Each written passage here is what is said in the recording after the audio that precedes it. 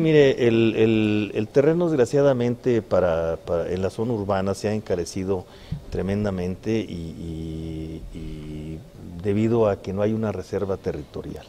Eh, ahorita con el plan de desarrollo metropolitano Soledad San Luis, eso es lo que buscamos, que haya una reserva territorial donde no se especule y donde se pueda llegar a precios razonables, porque la, vivienda que más auge debe de tener es la vivienda económica, la que más se puede colocar.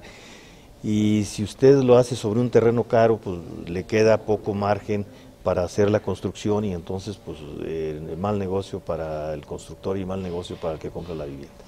Ah, sí, eh, sí, eh, la tierra es cara y eso pues lo que trae como consecuencia es que la vivienda también se encarezca.